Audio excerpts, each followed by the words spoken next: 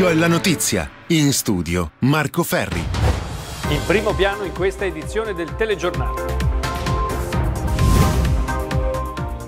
A Marche Nord, terminato il primo ciclo di vaccinazioni, sabato inizieranno i richiami, netta diminuzione ai sanitari che non vogliono fare il vaccino e che hanno cambiato idea. Lasciateci lavorare in sicurezza è l'appello dei titolari della storica trattoria di pesce dalla Quinta al porto di Fano. La sport non risolve il problema. Noi chiediamo soltanto di avere il nostro diritto al lavoro per poter salvaguardare noi, il nostro personale, perché poi dopo non piangiamo del fatto che molta gente starà a casa, molta gente fallirà. I pro e contro della didattica a distanza per gli studenti delle superiori spiegate da una psicologa. È una sofferenza ehm, di cui si è consapevoli, ma mh, la maggioranza dei ragazzi sanno anche che questo è un periodo che finirà e quindi eh, in qualche modo sono consapevoli che devono tenere duro. Scontro tra auto e bici in una rotatoria a Bellocche di Fano, 72enne trasferita al Torrette di Ancona con lei ambulanze. Ruba un'auto parcheggiata all'esterno di un supermercato a Lucrezia di Cartoceto, il ladro rintracciato dai carabinieri in un bar a un chilometro di distanza e subito arrestato. Tra poco in diretta Primo Cittadino con il sindaco di Pesaro Matteo Ricci.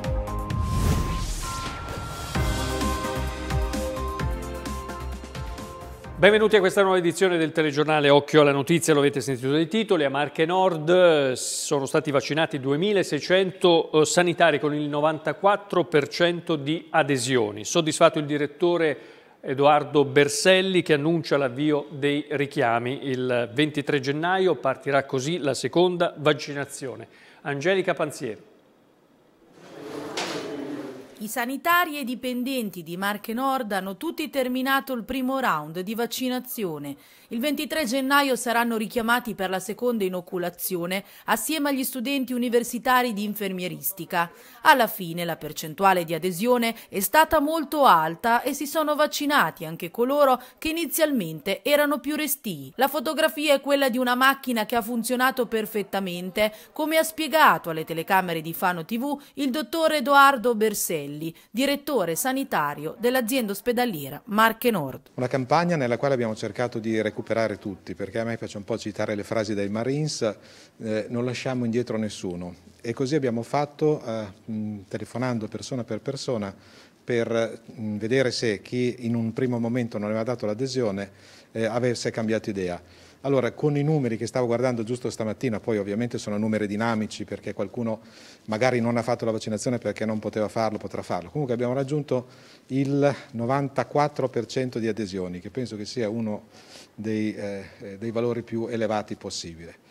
Per cui direi che sono molto soddisfatto. Adesso stavo cominciando a fare un'analisi per categoria, per cui per vedere se c'erano fasce che magari avevano risposto un po' meno, capire il perché e cercare di coinvolgerle. La prima classe che ho guardato è stata quella dei dirigenti medici e in realtà al di là di quello che si dice delle bufale che girano, il, i nostri medici sono, aspetti vi dirò il numero anche totale, sono 364 medici su 364, 362 hanno detto sì alla vaccinazione. Quindi due medici non si sono vaccinati, ma sono due donne che o sono in gravidanza o stanno progettando una gravidanza. Il 23 partiremo con i grossi numeri perché eh, in realtà eh, ieri abbiamo già fatto 20 seconde vaccinazioni, che sono quelli che il 27 hanno fatto il Vax Day, per cui abbiamo già fatto prima, i primi 20 richiami, tra i quali anche il sottoscritto. Sono vivo, al di là di un po' di dolore nella sede di iniezione, ma questo è il, il minimo che ci si può aspettare. Oltre ai richiami, eh, andremo a fare anche, eh, concordato con la Regione, andremo a vaccinare tutti gli studenti di infermieristica, gli studenti eh, delle professioni sanitarie che accedono ai nostri corsi universitari. Quindi loro saranno i prossimi perché frequentano poi, con i tirocini obbligatori e quant'altro, frequentano la struttura ospedaliera e anche loro non saranno lasciati indietro.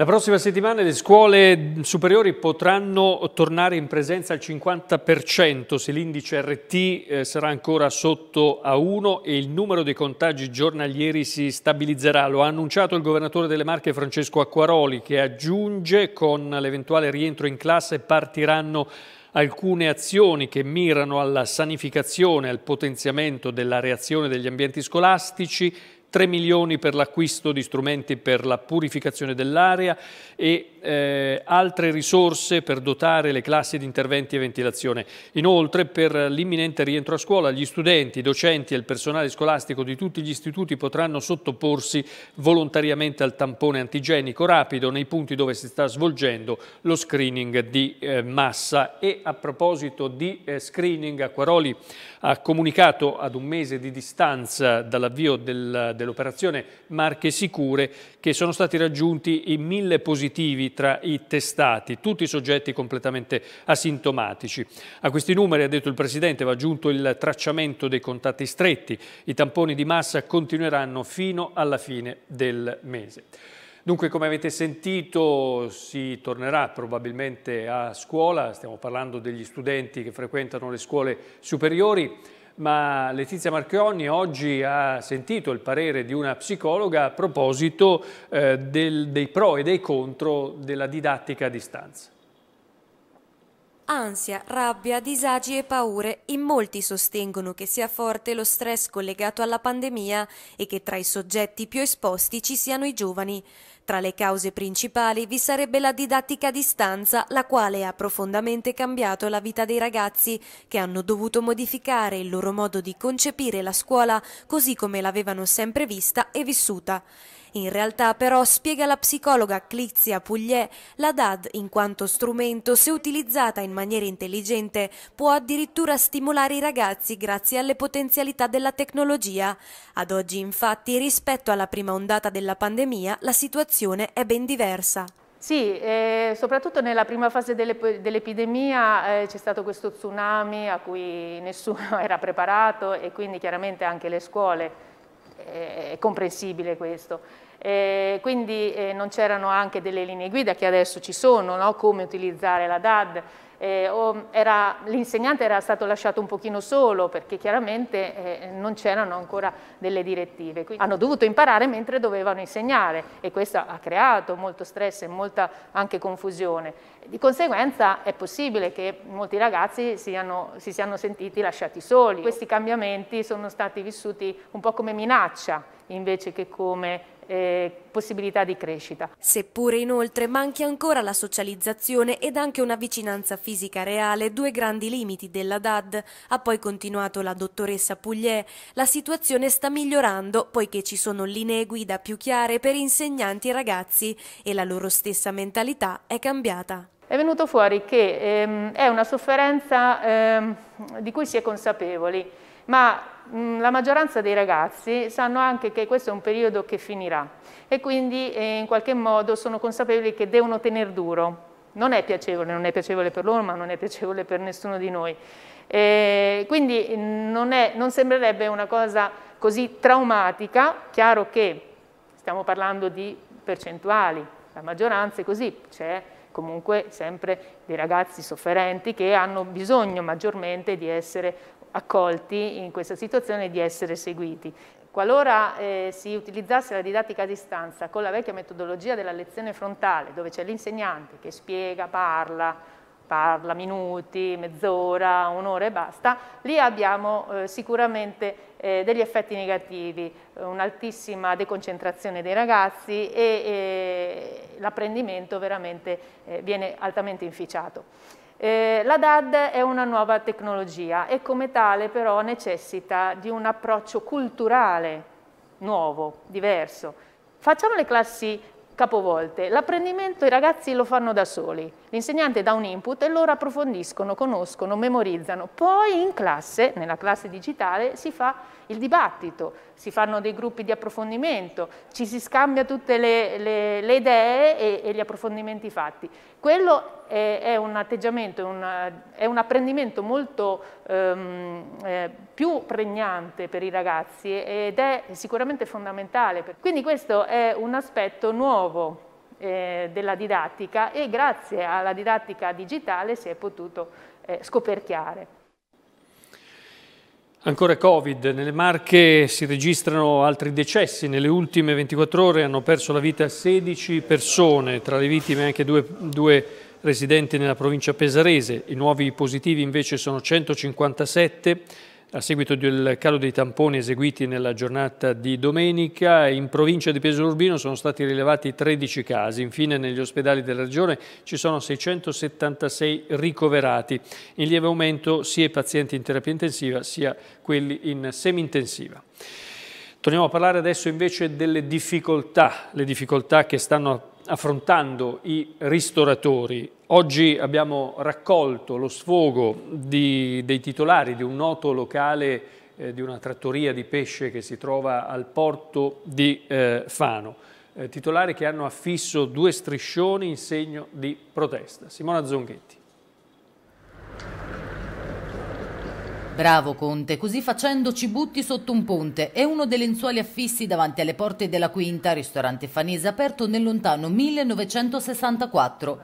Un locale storico della città che oggi, come tanti altri, sta affrontando un momento difficile. Da qui il messaggio di disperazione lasciato all'ingresso sul lungomare di Sassonia. E poco distante davanti a un cancellino dello stesso locale c'è il secondo striscione con su scritto la disoccupazione involontaria è il male più terribile, soprattutto se causato dalla disorganizzazione politica. Anche noi lavoriamo in sicurezza. I lenzuoli sono appesi da venerdì sera in concomitanza con l'iniziativa promossa dal Ristor Italia, decine gli imprenditori che hanno lasciato le luci accese in segno di protesta, ma i titolari di questo locale hanno voluto fare di più, scrivendo alcune frasi per esprimere il loro grido di dolore. Perché secondo noi è una situazione ingiusta, ci sono fatte eh, delle regole che non sono eque e, e non, non, siamo una categoria eh, più a rischio di tante altre quindi protestiamo per questa cosa qua. E se vogliamo mantenere le distanze è giusto allora che tutti stiano a casa, uscire solo per le necessità, che le necessità alla fine si riducono nelle dita di una mano. Quindi a noi questo ci fa arrabbiare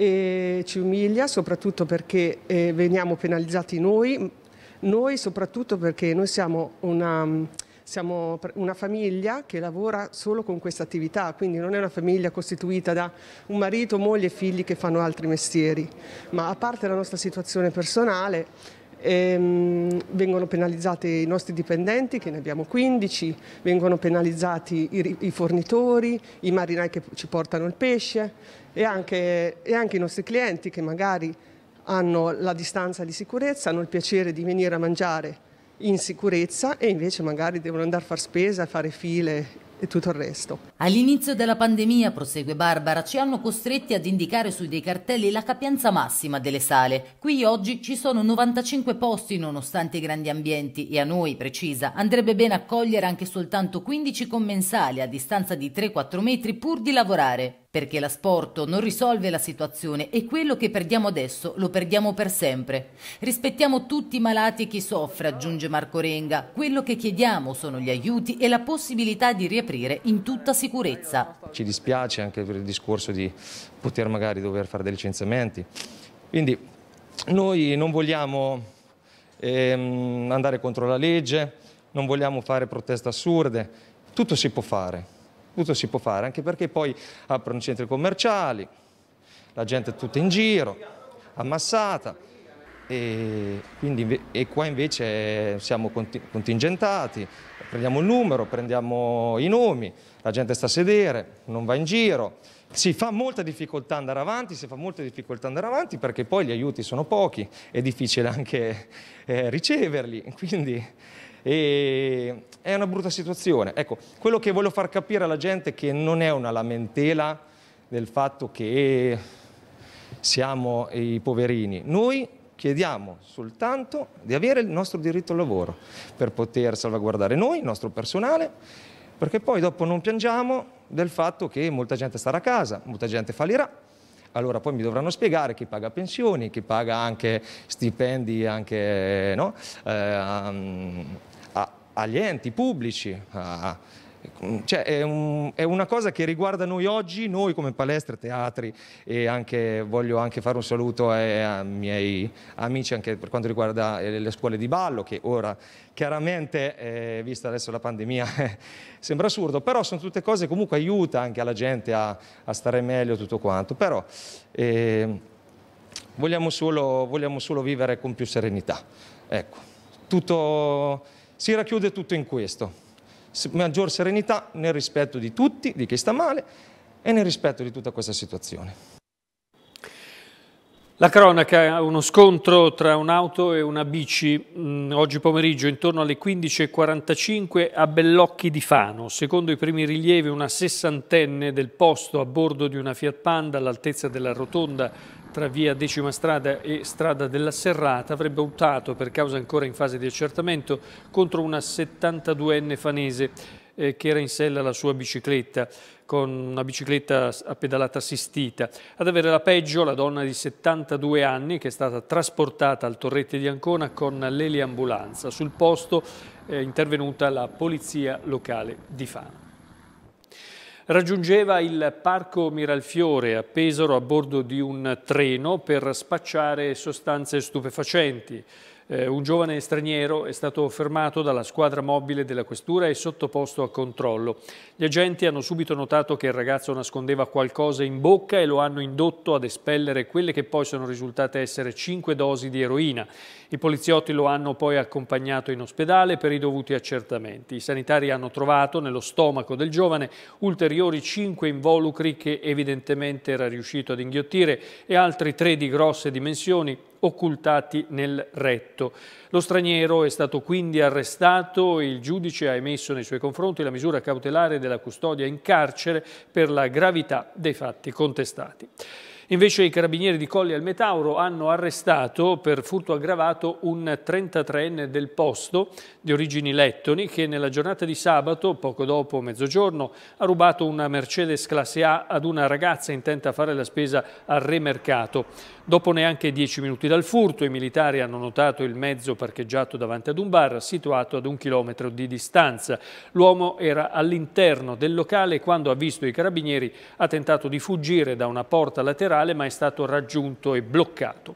Nei suoi pantaloni, occultate tra questi e gli slip, i militari hanno trovato le chiavi di accensione. Inoltre, fra gli elementi a suo carico ci sono anche le immagini dell'impianto di videosorveglianza del supermercato che lo hanno ripreso mentre rubava il mezzo per poi allontanarsi a tutta velocità. Questa mattina, durante l'udienza di convalida, l'uomo avrebbe dichiarato che dopo un litigio con la famiglia e la fidanzata sarebbe uscito di casa ed essendo a corto di soldi doveva raggiungere il bancomat di Calcinelli. Il 33 33enne è stato condannato alla pena di sei mesi di reclusione e 300 euro di eh, multa.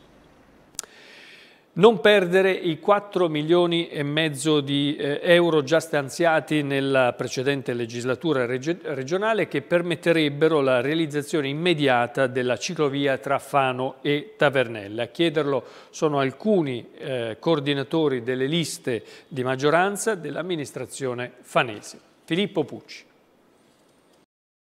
Un corridoio verde come questo ce lo invidierebbe mezza Italia. Avviamo in fretta i lavori perché questa ciclabile diventi un collegamento tra i quartieri. Un bel progetto che non va a compromettere la ferrovia perché a lato. Inizia con le parole del sindaco Seri, il video dal titolo Che spettacolo, che ha come obiettivo di iniziare al più presto i lavori del primo tratto di ciclovia tra Fano e Tavernelle.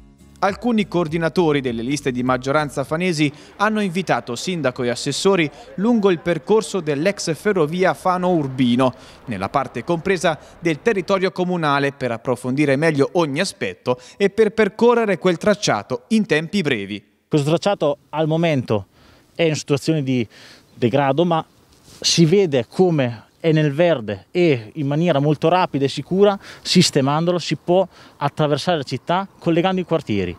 Abbiamo l'opportunità di farlo perché il percorso già esiste e con interventi semplici possiamo creare davvero qualcosa di utile a tutti per la nostra città. Un progetto fattibile grazie ai fondi già stanziati dalla precedente legislatura regionale che permetterebbero la realizzazione immediata di circa metà del percorso. Tra l'altro, ci dicono, questa infrastruttura incentiverebbe anche il turismo in un percorso immerso nel verde che dalle colline arriva fino al mare. Questa ciclabile potrebbe collegarsi benissimo con adesso la futura ciclabile che verrà fatta ciclo pedonale sull'Adriatica.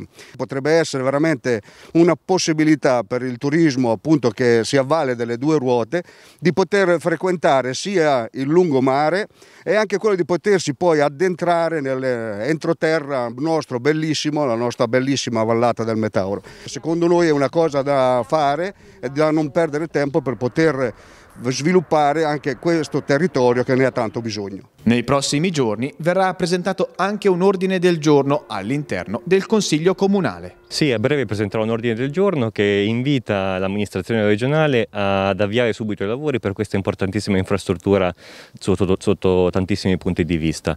Eh, ricordiamo che abbiamo già 4,5 milioni stanziati per, eh, che finanzierebbero più di metà dell'opera e non possiamo lasciarci sfuggire questa possibilità. Il Comune di Fano ha ottenuto un finanziamento dal MIUR di 49.000 euro per eseguire un'indagine sullo stato dei solai e dei controsoffitti nelle scuole pubbliche. Le verifiche verranno stabilite con gli istituti per non interferire sulle lezioni. Al momento non è stato registrato alcun problema, spiega l'assessore Fabiola Tonelli, ma vogliamo mantenere alta l'attenzione sugli istituti e sulla sicurezza dei nostri studenti. 110.000 utenti in sole quattro settimane, il Natale che non ti aspetti quest'anno si è concluso con un boom di visite online e contatti da tutto il mondo. 25 proloco, 50.000 accessi al sito e 60.000 persone che hanno interagito sui social con il picco delle dirette sulle pagine Facebook. Si è conclusa con un grande successo la Digital Edition del Natale che non ti aspetti, uno dei più grandi eventi del centro Italia che si è svolto dall'8 dicembre al 6 gennaio. Nonostante le singole iniziative siano state annullate a causa della pandemia, gli organizzatori hanno pensato ad una rete virtuosa ma digitale per far sì che la manifestazione avvenisse nel rispetto delle regole regole della tradizione. Sì, il Natale che non ti aspetti ha dato un risultato straordinario, 110.000 contatti, grazie al lavoro dei tanti volontari stiamo lavorando per il futuro per mettere insieme eh, sia l'edizione digitale che in presenza, quindi un grande successo straordinario, tutto questo grazie al lavoro prezioso di oltre 100 volontari. Bartocetti ha poi ringraziato la Regione Marche per il sostegno fondamentale. L'ente infatti ha dato un contributo all'iniziativa coordinata dalla Proloco di Pesaro Urbino in collaborazione con la provincia e Confcommercio Marche Nord. Sì, un contributo che abbiamo voluto fortemente e che mi auguro il prossimo anno farà rivivere ancora di più i nostri borghi. Quindi un ringraziamento speciale alla Proloco di Pesaro Urbino e a tutte le singole Proloco che hanno portato avanti nonostante l'anno l'iniziativa tramite i social e il sito internet.